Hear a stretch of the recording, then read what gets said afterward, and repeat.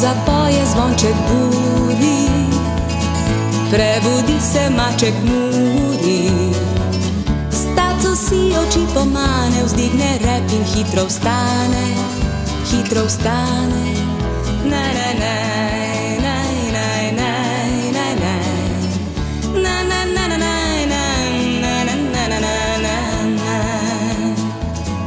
Mačjo posteljo prezrak mačjo suknjo po krtači.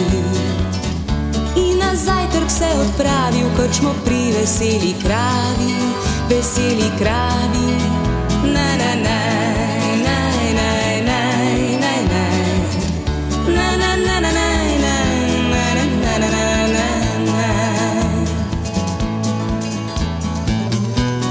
Čaka stalna miza in to čajka muca Liza, ki prinese lonček mleka in še mači kruh od peka. Objedači poglobi se, muri v mače časopise, vse prebere brez razlike, tudi vejice in pike.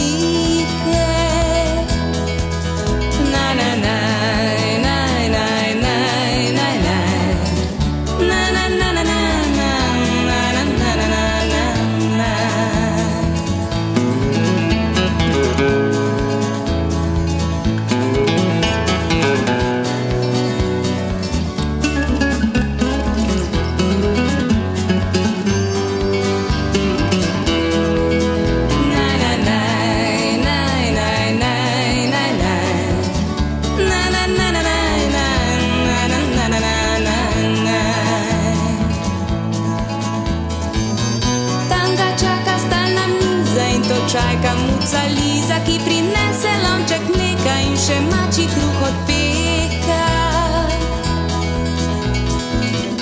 Objedači poglobi se, muri v mače časopise, vse prebere